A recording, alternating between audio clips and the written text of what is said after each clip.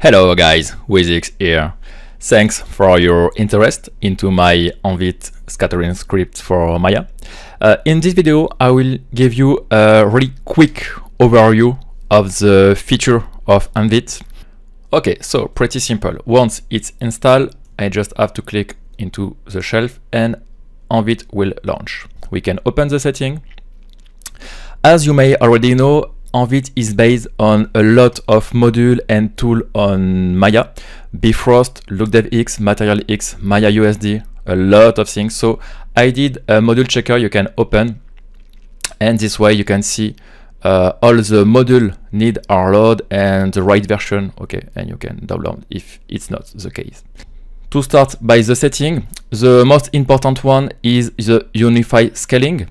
Okay, so you choose that and all the algorithm in Envit will um, depend on that. Let's go to the scatter. When you start, you can you can't click anywhere. You can't do anything because you need a ground.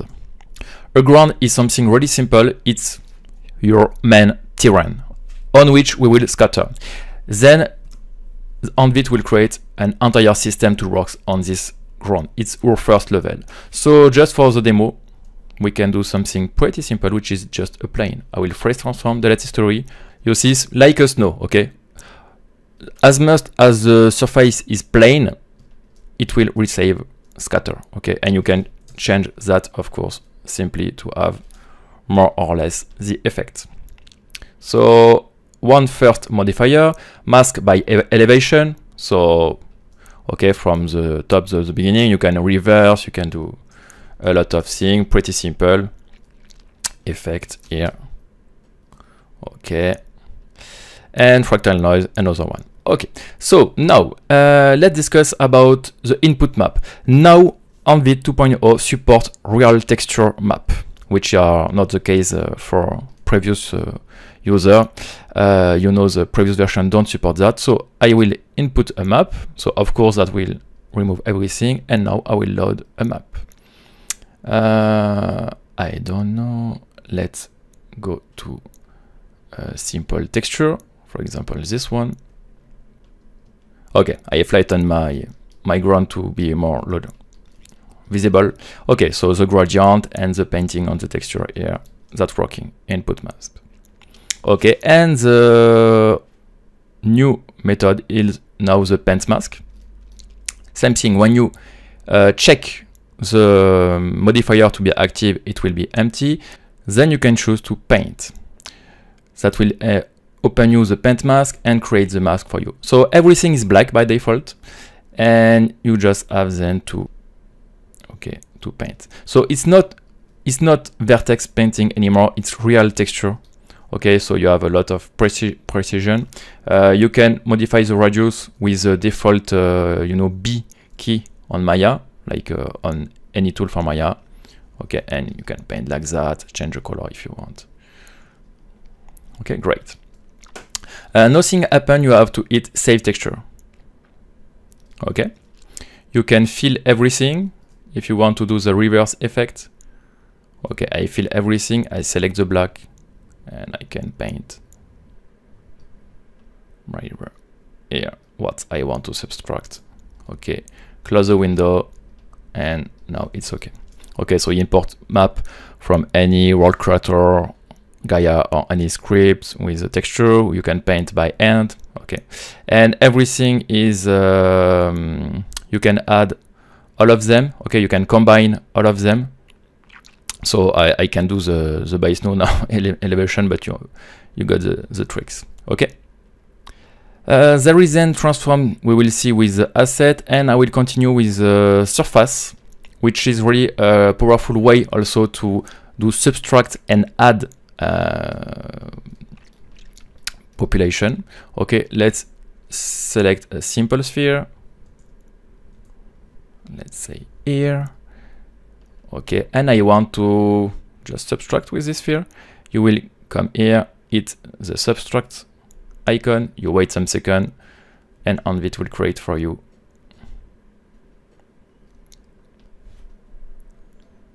okay it's dynamically of course you can place it You can, you have some mode, you can invert mode, okay, with some effect, you can scale up, okay, some option. I will keep seeing uh, simple here. Um, and demonstration, if you want to add a surface, just click on the add one.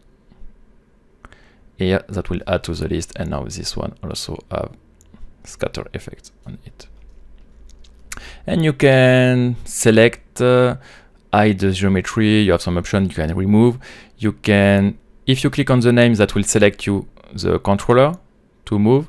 If the P sphere I want, now I click on this icon here, that will switch it to a positive one. Okay, so with the lister and all of this, you can already create complex positive and negative uh, scattering area. Okay, so now what we want is to attach item to the scatter point. So I create a new clean scene with a ground, a lighting environment, and the same system than before. Okay, now in my asset, which is empty, I have three options okay, to create asset. Here we will only see one.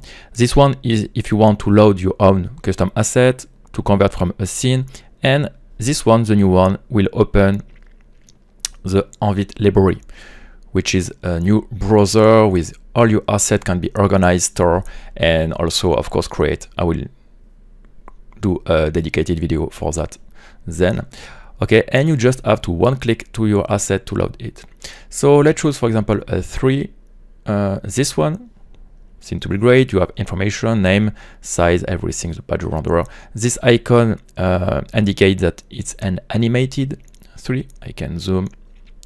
Look. Okay great. Three. I want this one. So I just have to click on it to load.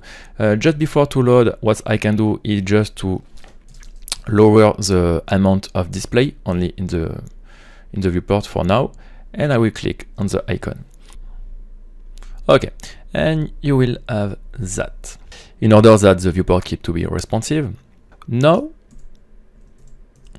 in the asset I have my 3, which is list here. I can click the icon to show hide, and you can click into the name that will open you the asset attribute with all the attribute relative to this item. Okay, color, everything, scale, offset. Okay, and template display. You can switch the template display, the color. Here you have the proxy mode, which is more uh, the LOD of your this um, asset if it if it has been uh, created. Uh, I will show you how to do it when you create your asset. Okay, uh, always the same for the viewport.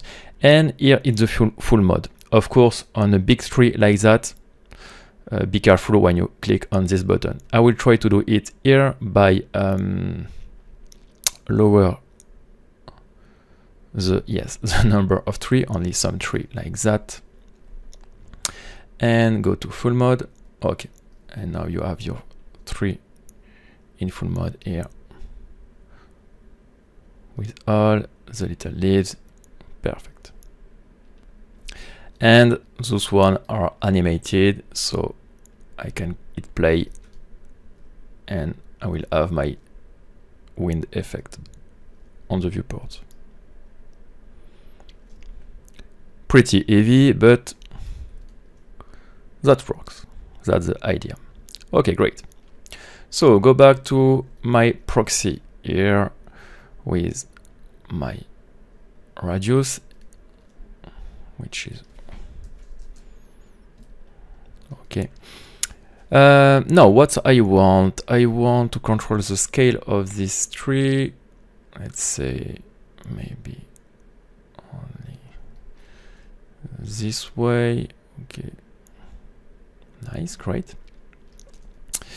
Um, the important thing we want to deal with when you have a scatter is of course randomization. Here the problem is all is on the same rotation, same scale. Okay. So you go to the transform and pretty simple. We don't need translation, but I will hit just rotation and automatically with a preset it will do random rotation on my asset. Same thing for scale and some scale randomization. Maybe it's a bit too much. I will change the value. Okay, pretty simple.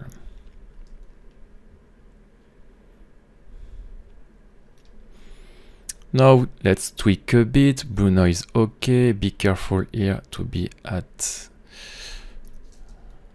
because here I'm not at the 100%. Yes, there is a lot of three.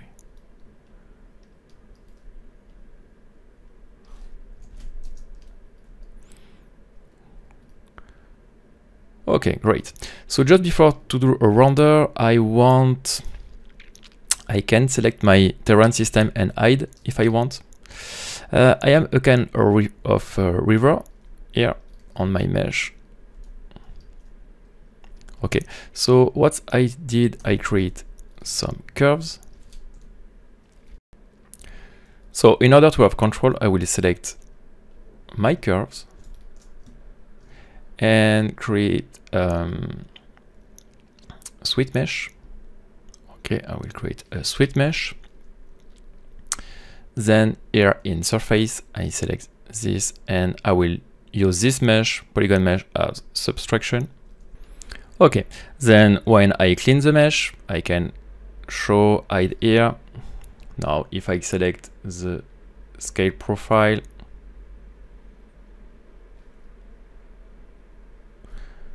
I can control here my river patch.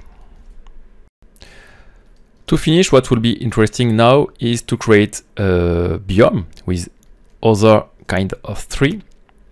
So pretty simple. In this layer, I will add other three that will use the same scattering setting, the same mask, everything here will be applied to my other guys. Uh, let's say, for example, this uh, this one. Okay, to add a pine. Okay, uh, I will keep it like that, so I can control if I want to control uh, the scale of this one. Okay, same thing. I will add another one.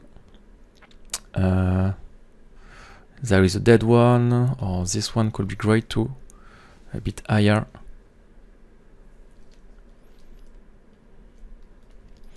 Now I can also choose color because everything is green by default. I can open and say, okay, I would like this one to be in blue. Nice. And I don't want as much as this one. I want here, I have a probability slider. I just want, mm, yes, this. Right and this one to be pretty big compared to other. And pretty easily in the viewport you can start to deal with uh, this. Then comes the time for rendering. Okay, so let's open Arnold. I'm wait a bit and that will start to render.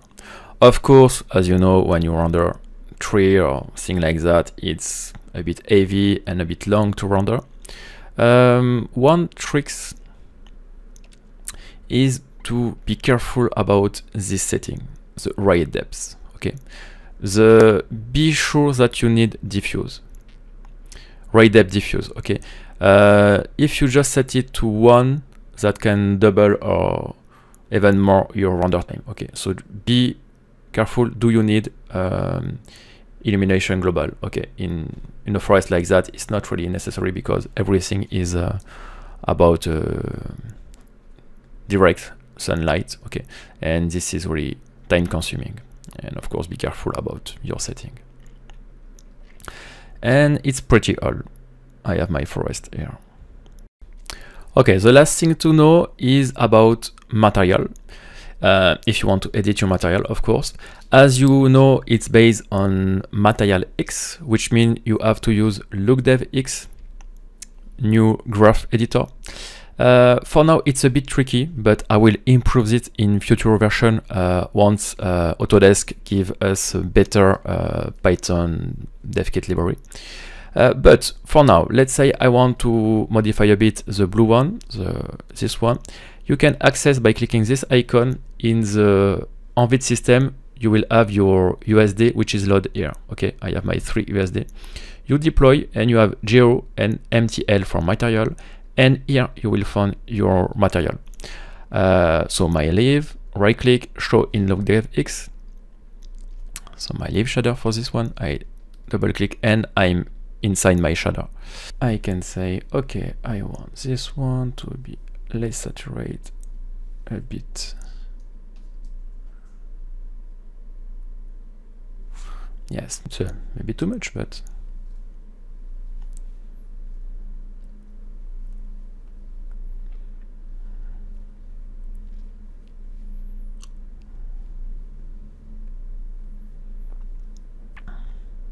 and rocks on this guy.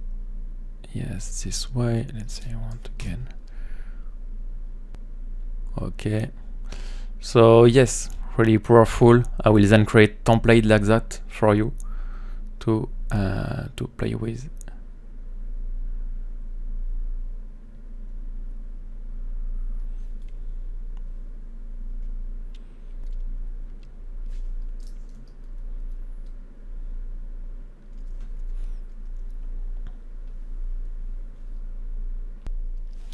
So I really hope you like this quick overview about Envit and feel free to join the Discord if you want to know more about it.